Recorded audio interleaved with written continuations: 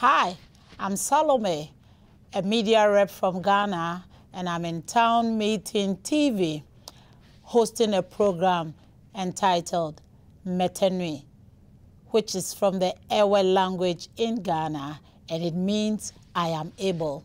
This is a program that is tailored at empowering our youth with disability.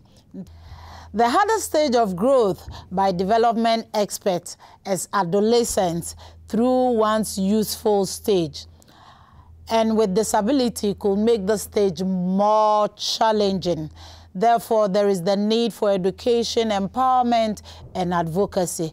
It with this in this light that you have to join me as we sit down with great minds to help empower our youth, especially with disability, and talk everything disability. And I have, I will be having with me Dr. Sefako Komebu Pomeye an international disability rights advocate and policy analyst. So get connected to us on Town Meeting TV and be a part of this. Thank you. Hello and welcome again to your favorite program on disability Metenui, meaning I am able. I'm Salome, your host, and I have with me again today a resource person, a voice speaking for disability on a global platform, uh, my sister, Professor Sefakor. Thank you so much, Auntie Salome. I'm so glad to be with you yes, again. yes, I enjoy our conversations because, in fact, you have enlightened me so much on area of disability, and then uh, we know we're going to do a great job for many people that at least uh, should know, be educated, be empowered, and have hope, and realize that they are able Yep. to do everything. I, I want you today, as we left off the last time, we were talking about the forms of disability. You made us understand that uh, disability are in two forms. That's the visible Yeah. and the invisible. So I want us to take it from there. Thank you so much. Yeah, so um, once again, thank you for our listeners, those who are listening to Metenui, which means in our Ewe language, I am able, Yeah. which actually is the mm, title of my book, which has a long title, I'm able, um, a disability word, um, how do you call it? Like seriously, I'm forgetting my the, the name of my title. a woman's advice for disability change agents, right? yeah. So that uh, I'm able is actually from uh, the title of my book, uh, Metenui in the Ewe language. I would like to um, quickly maybe. Uh, A last- recap. recap. Last week we talked Exactly. about disability being part of the uh, humanity. Uh, we define disability to be um, anything that prevents you of functioning, um, anything that uh, it's either a trauma, disease, condition, any condition that you are going through that you are not able to perform any duty. So in other words, those of us who are sitting in a wheelchair, uh, we are not able to lift things upstairs. That is something that uh, prevents us. If you are wearing glasses and you are not able to read that thing, you have a disability. If you have anything that is preventing you, that was what we said last week. And maybe I want to uh, share a little bit to with that in the um, in our language. So, uh, in the Ewe language, we, we define disability. Mie gblɔ na be uh, ne ame efia be nane yi ke wɔm um, ne le alo eŋu yi ke wɔ wò yi ke mate ŋu awɔ naneke o alo nane li wɔ mete wɔwɔ ge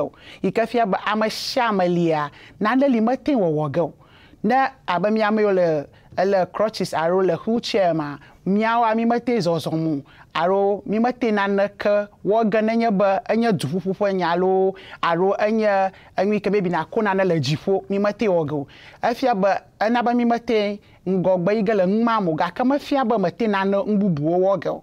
Nenema ke nenye gaŋkui ne ɖɔna hafi kpɔ ŋua ke enye uh, wɔmitɔ ma enu geɖewo li yi ke mi mate ŋu wɔna o. Ne ekpɔe be nane li nenema yi ke mete wɔ le abe mi ƒo ŋu last week a míegblɔ be covid va ena mi trauma ena mi mi katã mi vɔvɔm vɔvɔm ale mi katã mi ame va se ɖe gba. Ta nenye be covid time li ye ne te to ŋu ya me ʋu keke va se ɖe fia. Wɔmi ye wɔ vɔe ma elabe tsi tame no. Ƒoƒo nyanyanya ma mi yɔna le yevugbe me be trauma ewo hã ele me o. Yi ke nye part of disability alo disability ƒe ɖekae ma which actually yi ke kplɔ mi va agba ƒe discussion ye be whether uh, wɔmia ɖe enye wɔmi ke nanu kpɔkpɔm kple ŋku loo alo enye wɔmi ke ele in inward alo invisible. Yi ke fia be ne wɔmia li ha eve maa ɖewo tɔ nye nakpe kple ŋku abe mi amewo le ekpo ekpo dzi alo mi kpo tɔm alo mi le chair alo mi le uh, white king ɖe asi mi zɔzɔm. Alo tokunɔwo ekpe be ame ma uh, meŋusẽ mo gake na ame aɖe fia wobe epilepsy le ŋuti ɖe alo ele suku meŋusrɔ̃m abe learning disability. Míeyɔna ŋu ma o. Míɔ míaƒe egbea me kura hã meli o. Ŋkɔ mele wo si o. Ta egbea enu yi ƒo ge mia le enye be uh, wɔmia ɖe heyi ke wokpɔna kple ŋku kpakple heyi ke womekpɔna kple ŋku o ɖe leke mi yɔ gafi anyawo hã. Nenema so today's topic is definitely about visible and invisible disabilities Good. which to me i want to just um, make some uh, uh, examples for people to connect to it very clearly. So something visible is something which is showing, right? You can see it's obvious. It's obvious. Exactly. So those of us who are having uh, um, movement issues or mobility issues, as we Mobility say, issues, yeah. we have been already aware. We- When I entered the room, the first thing people see about me or around me is my scooter or my wheelchair. Okay. somebody's i mean who is uh, blind because of the white white skin. Cane. that is what everybody sees. Where we talk about visible it's like you can see around the person that the person is a disabled. And invisible disabilities are those that are not seen unless the person tells you that i have this like i remember last week when we were talking So I, I we- mentioned We want examples. yes i mentioned that i have dyscalculia No, okay. dyscalculia has to do with maths. Okay. And as you see me beautifully like this, when it is math time, I'll be shivering. Okay. I will have every trauma that you can think about as if I don't know anything. In fact, I did maths. That was the only subject that I had notebook for Okay. In my life. When I say notebook, like from school, you know how we are giving uh, notes to take. I take my notes here. But when it is time for mathematics, I have to write it down. And the interesting piece is nobody knows what I was going through. We don't have a name for most of our invisible disabilities in our uh, African In, in, in our part of Africa, yeah. Yes, yeah. that is why, for me, uh, making this very clear for us to connect with them is very much important and for I, me. and I and I really want you to take your time in doing this for us Mm-hmm. because we should come to appreciate the fact that invisible disability it's there and we need to recognize them if we recognize them then we can help we can do something about it so Yeah. please take your time Yeah. take us through invisible the examples of invisible disabilities Yes, so for every disability that we have, mm. whether visible or invisible, uh, according to the WHO, mm-hmm. we have three dimensions. I want to really talk about those three dimensions very clearly before I dive to the samples or examples. Perfect. Why is it important is every disability connect to these three dimensions. Great. One is the impairment as we talk about. Mm-hmm. That can have uh, effect on the person, maybe the body structure or the function or mental functioning of the person, uh, including maybe loss of limb. Like mine, I'm paralyzed on the lower part. Okay. My legs do not function, right? That part of it is there for us to be seen. Uh, activity limitation. We all have activity, activity limitation in every disability, whether visible or invisible, such as maybe difficulty in seeing, difficulty in walking, or problem solving in the classroom, which we will talk about in terms of learning disabilities, right? And then participation restrictions normal daily activities such as working or engaging in social and recreational activities, obtaining health care and preventive services, and da da da. Those three things the impairment, activity limitation, and participation restrictions are the three dimensions that every person with disability goes through. And what I'm telling you right now, you can think about it yourself and say, oh, then I'm going through one of them at least if not all the three. Yeah. Because there are some times that you are definitely going to have some part, uh, participation restrictions, like yeah. you are not able to participate in certain things. Yeah. It may be because of what the type of disability which you might have not even known about. Exactly. So the visible disabilities are the ones that you can see, like polio affected people. Uh, deaf people because they have cochlear implants in the ear. People yeah. see the ear that they know that oh this person is disabled. Mm -hmm. But when we talk about invisible disability, they are the type of disabilities are mostly neurodivergent or mostly uh, sensory, are mostly invisible. You cannot touch it, you cannot see it. And most of them at times are connected to genetics, connected to what? As I said, trauma. And these disabilities, because we don't have names for them in our cultures, uh, we are not able to have attention to them. Mm. For instance, uh, epilepsy is one of invisible disability. If somebody has epilepsy, you will not know until the person has seizures. Yeah. If somebody has ADHD, yeah. something like that, you will not know what exactly the person is going through, except you have that person uh, in contact with, the person tells you that I have ADHD and maybe this is what goes through. If somebody has in the classroom all the, let me say, all the learning disabilities that we have, let's say the simplest that I can connect to so with. what are some of the learning disabilities here? Let's say quickly. dyslexia. Okay. Dyslexia has to do with reading yeah. and people who are not able to read, right? Certainly. So when you have a child, which can happen a lot in our disab- uh, in our classrooms in, in, in Ghana or Africa, mm -hmm. we know how we, we term those children when they are not able to read mm. or concentrate. say they are timid. It's like they are, they are, they are. Some people use very, very, very awful awful descriptions for them because they are not just like the other children. Yes. Why? Because we don't know that it is a type of disability. Great. Because we think that those children are just lazy, as you said. Mm -hmm. But the fact that that child is not able to read, yeah. Um, that child needs assessment or uh, needs to be diagnosed to be put on uh, what what we call reasonable accommodation. Okay. Now, when we are talking about invisible disabilities, most of them because we don't know them in our language, we don't have ways to what deal with them. Yeah. So the classroom situation is the place that we meet the student and then they behave differently. Yeah. They behave differently based on what the type of invisible disability they have. Mm. Now, the question for you and I right now, how do you know if a child has a disability or not?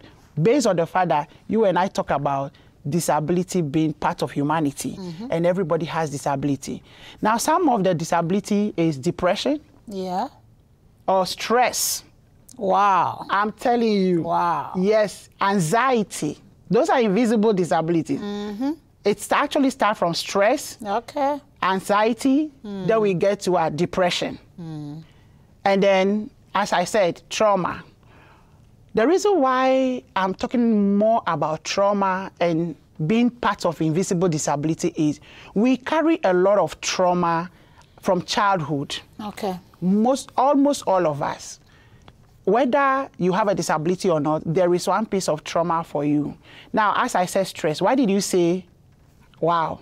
Yeah, because we get stressed Most of the time, when you are overwhelmed with situations, you realize that you are stressed up. Sometimes you're so tired, you're broken down, you, you, you can't function well. Exactly. Hmm. You can't function well, hmm. brings you to that forefront that you have something called disability, that you name it, that you have invisible disability. Wow. When you know that you can't function like other people, because for instance, I carry trauma from my childhood. Hmm. The type of trauma I carry is when I saw my dad leaving the scene Wow. which is in my book, I'm able. I Am Able, yeah. Because that is just part of me. It, it, it's, a, uh, it's a flashback every time that I see a person with disability from my childhood. I see how, or when I hear that your parents are divorced because of your disability. Wow. It's a flashback when I hear that I'm a single mom because of my child's disability. The father left, which happens in everybody's life, and there are so many trauma that our children carry, especially into the classroom. Why? Because nobody even identifies that as part of disability. Trauma, for instance, um, in our community, Yeah. our Ghanaian community, a lot of things happen to us and we suppress it down. Exactly. We we They don't ask you not to talk about. exactly. And there was a boy just to not to cut you. Um, the father uh, had suicide, Mm-hmm. and he was just a young boy, and everybody wanted to point out and say, "Hey, don't talk about it. Hey, don't talk about it," and and you realize that it has the toll on him. Yeah. Yeah, the fact that we have those invisible disabilities, but we don't have names for them is huge. Hmm. And it causes a lot of havoc Exactly. to the people or the children or the youth with disabilities that we are dealing with. Hmm. I will just connect with those simple ones that we know from our land mm-hmm. that we can bring them to the discussion. For instance, when you have what we call sickle cell anemia, Okay, it's a disability. Really. Yes, it is. Not a not not not a condition, but it's a it's a so, what do you mean by condition? We learned that disability is a condition of what? genetics. So, Okay. yeah, genetics, okay disease. okay. So, when you define that migraine, mm-hmm. which is something that we go through several times, so many things, because migraine generates into so many things. Now, when I mention some of them, you will tell me whether it is visible, whether it is disability uh, visible or invisible right now. So, how did we arrive at the place that we call people with albinism in our country Yeah. that they are part of disability? Wow. Yes, because when you analytically study them, at some point they have blur vision Yeah. or low vision. Yeah. And then if they don't have access to uh, uh, glasses or spectacle, They can't or, see. pr- or let's say uh, me- uh, measures to let them see, Mm-hmm. or sunscreen, uh, which is actually uh, part of uh, um, the struggle or the stigma that they have also to they have uh, skin cancer. Yeah. There are so many things. That for us, it, we don't talk about it in this culture because nobody will qualify a person with albinism to be having a, disa- a disability because Okay. of the stigma of being uh, uh, um, a person with uh, with disability. But the fact that in Europe, in America, in Africa, they all have something limiting their function. Okay. They are all not able to see well. Yeah. They are all not able to function well. So when you say condition, any condition that can limit your scope Okay. of performing the three dimensions activity. activity, mm. Mm. participation, mm. activity, or it has actually happened to your body that An you- impairment. impairment. Okay. So when you look at disability critically for those three dimensions and you look at the the types or the forms, you can see that both go through the same lane of stigma, whether visible or invisible. Now, let me t- say this in our language because when I talked about stress, anxiety, uh, depression, you are like, whoa, right? We have gone through a lot of stress in so many things at home, at work, in the community.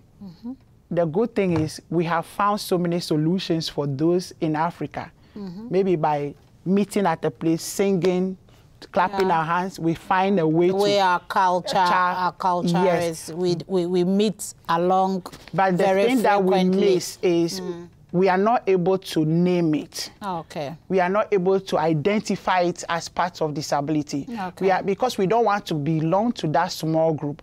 But here lies the case that group is actually not a small group. It's the oh. biggest minority or the largest minority group. Mm. Why am I saying this? Because when you take the word disability, mm-hmm.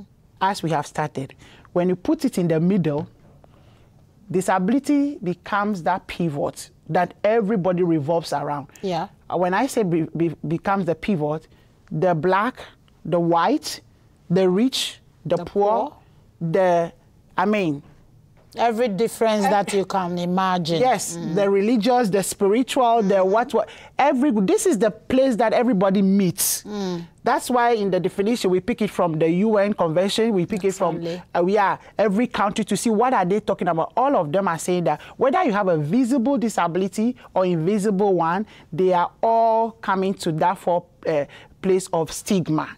And the visible ones are those that we see, and the invisible ones are those that we don't see. Now, they are accountable because whatever you define in your culture or in your country, and you are able to capture that, this is what our policy says, that is what they work with. So in Ghana, for instance, we define disability generally like that, and then it's part of what? The invisible becomes part of sensory. Okay. Yes. So anything doing with, uh, uh, uh, with uh, the sensory part of the person has to fall under the invisible disability. Mm.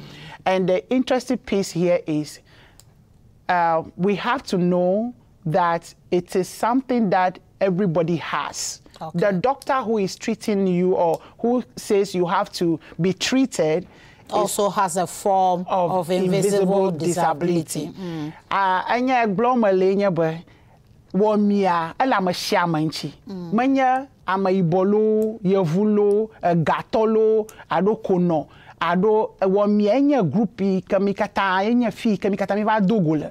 Ne kpɔ wɔmitɔwoa eɖewo nye gatɔ eɖewo nye mekawo wo katã wɔmiwo nye. Mm. gake vovototo yi ke mele wɔmime nye be ame aɖeke menyo wu nɔvia o evelia wɔmia eli nakpe kple ŋku visible eɖewo li ame te kpɔ ge kple ŋku invisible. Ɖeviwo le míaƒe sukuxɔ me míeyɔna be learning disability ya. Woƒe susuwo katã le ŋuwɔwɔ ɖe sia ɖe me mesɔ kple aleka wòdze be ne bubɔ wòanɔa ɖevi mawoa wo hã wonye wɔmitɔwo gake ŋusẽ bubu le wo si ŋusẽ bubu le wo si na ma mete xlẽ aŋua maybe ate drɔ alo ate dzi ha ate ƒoʋu numawo katã edzi be miakpɔe le miade nyigba be ehiã ɖe ɖevia menye nuŋɔŋlɔ koe nye nyonyo alo nusɔsrɔ̃ yita wɔ mia mi katã dzi wɔ le mi katã mi wɔ mi dɔkta yi ke dɔ wɔm alo uh, treatment na mu le kɔdzi uh, wɔ mi aɖewoe godoo elabe mi gbɔgblɔ be nenye be le afia le covid ƒe game koa wɔmi ɖeka yi ke mi katã mi kɔ ɖe ta yi mi nye mi yɔna le yevugbe mi nye trauma alo ƒoƒo nyanyanya dzo ɖe mia dzi vɔvɔ lé mi ele lãme na mi va se ɖe gba mi katã mi edɔ wɔm tso ŋuti yita wɔ mia ele me sia me ŋuti loo menye ame aɖewo koe koe be ebe eƒi le asi me. Wow. Thank you. Uh, in fact, we are on Town Meeting TV, and it's a place for spearheading diversity, equity, and inclusion. So if you hear us speaking a local dialect, you should understand that we are including everything that will be of help to the people also back home and then for us all in the diaspora as well. Uh, I want you to look into the camera and look up because our concentration are on the youth, young ones. And like we said previously, on the ladder of development, you realize that the point of adolescence into youth, it's a very difficult time where your definition as a person comes up with your psychological and mental health, which will rather push you into your next stage of adulthood, of which, of course, you become so much of an asset uh, to your nation, your family, and then your loved ones. So in the area of invisible disability, where you have made us understand, uh, what will you say to our youth, any young person?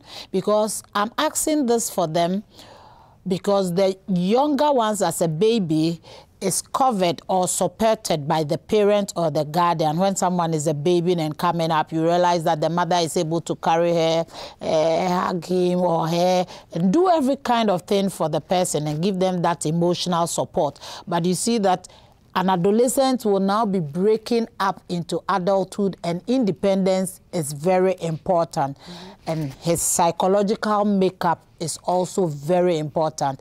Therefore, what will you say to that aspect of development of the youth?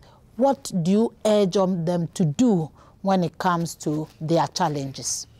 Thank you so much for that. You said I should look at the camera. yes, and speak so, to them. Um, I have a topic that I teach across, uh, which is very important to the youth. Mm. Um, the youth of today needs to embrace disability as part of their part of identity. Mm.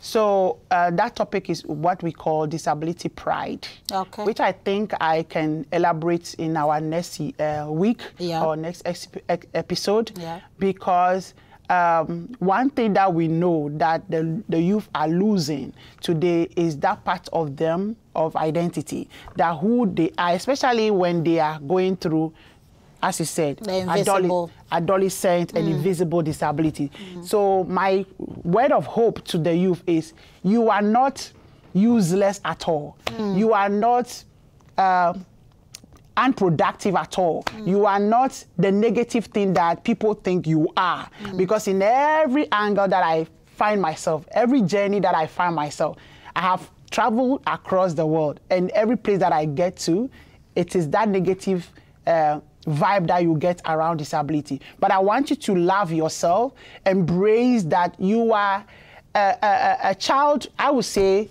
what my mom gave me is I'm a child of God. That was the, uh, the, the gift my mom gave me because the society uh, always says that I'm negative. In fact, they wanted to throw me into the uh, what evil forest. That I became evil child, and I was the negative. Everything bad which will happen, it was from me because I became all of a sudden a person with disability with my polio. So when I went through all those trauma, knowing very well that I'm the same Sefakor Nothing is wrong with me. But here lies the case. Some people really think that I brought curse, I brought evil, I brought unproductivity to them.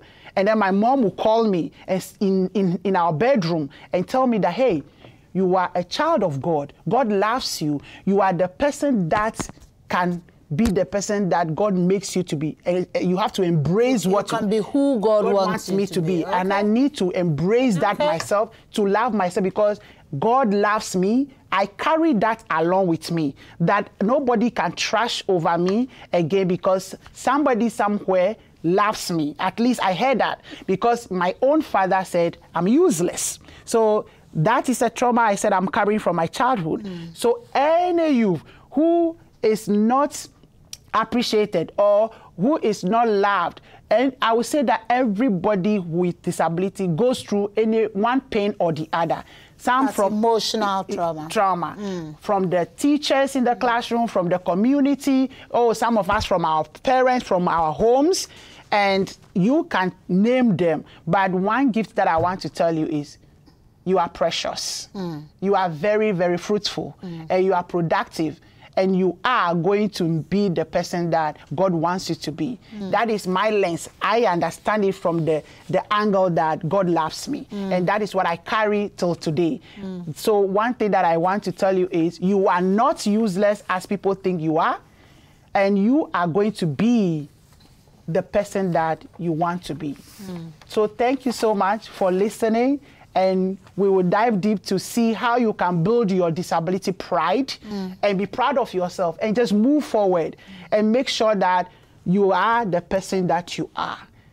Thank you so much for next. Wow. Week. Thank you, Professor Sefakor, for joining us on Metenui, uh, which means that I am able. It's a platform on Town Meeting TV that we want to give everybody, in fact, those with disability and those without disability, having been educated on what disability is, the forms of disability, and then the pride that comes in accepting and embracing who you are for our youth, for us to move on. Remember, the future lies in your hands as a youth, and you need to brace who you are because you are able to do everything that you can do. Thank you very much. I'm Salome, and see you another time.